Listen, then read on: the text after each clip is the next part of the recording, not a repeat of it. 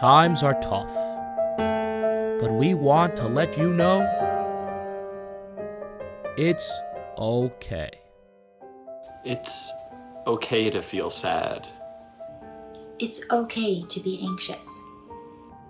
It's okay to be scared. It is okay to miss your friends. It's okay to shave your head. It's okay to lash out. Well, It's okay to take your mask off. once you get inside, It's okay to go for a walk. as long as you practice proper social distancing.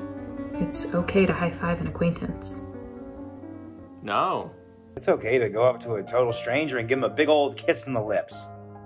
don't ever. It's okay to die for the economy. What is this PSA for? It's okay to hate people who are different than you. Why are we all white? Trump Pence 2020. It's okay to go to hell. We've been, and it's not that bad. Oh, no, no, no, no. That's not what I signed.